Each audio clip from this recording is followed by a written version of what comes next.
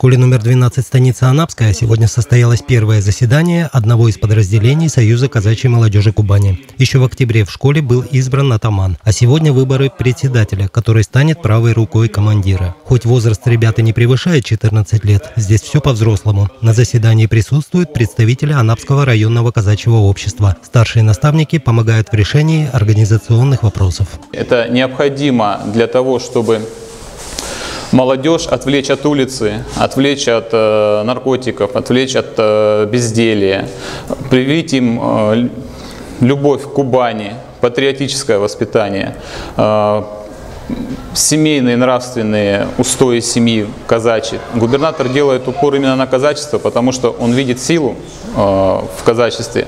И за 25 лет развития казачества в Краснодарском крае, э, казачество себя показало с хорошей стороны именно по воспитанию молодежи. На должность заместителя школьного атамана претендовало три кандидата. Каждому выпала возможность рассказать о себе и о своей программе по развитию школьного казачества. В итоге на открытом голосовании большинством голосов председателем выбран Андрей Гаденчук.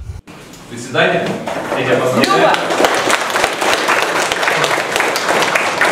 Я был уверен во многом, то, что меня выберут, потому что заранее уже были известны мнения людей, э, так как мы прошли по классам и выбрали мероприятия лучшие, и я выступил с ними и рассказал про них. Свою деятельность я вижу в продвижении военно-патриотического направления, также духовного направления, но мне для этого будут нужны помощники. В жизни родной школы и развитии казачества в целом может принять участие каждый. На заседаниях юные казачата выступают со своими предложениями. Участие в общественной жизни – приоритетное направление. Я бы хотела ввести игры в начальные классы, чтобы во избежание бега на переменах их можно как заигрывать. Вот. Также я предлагаю рассказывать детям младших классов интересные казачьи сказки, былины или легенды для того, чтобы они имели представление о казачестве. Все идеи и предложения будут рассматриваться на Совете по казачеству, в который входят атаман районного казачьего общества, его заместители и другие казаки.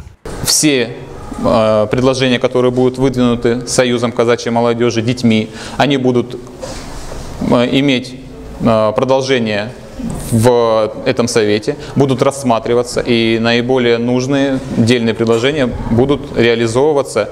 И, естественно, будут приглашаться дети, и они будут видеть, что их работа нужна, что она выполняется. К работе в Союзе казачьей молодежи в Анапском районе будет привлечено порядка двух тысяч юных казачат. Уже в конце ноября состоится общее заседание Совета Анапского районного казачьего общества, на котором будут выработаны новые предложения о дальнейшем сотрудничестве школьников и казаков.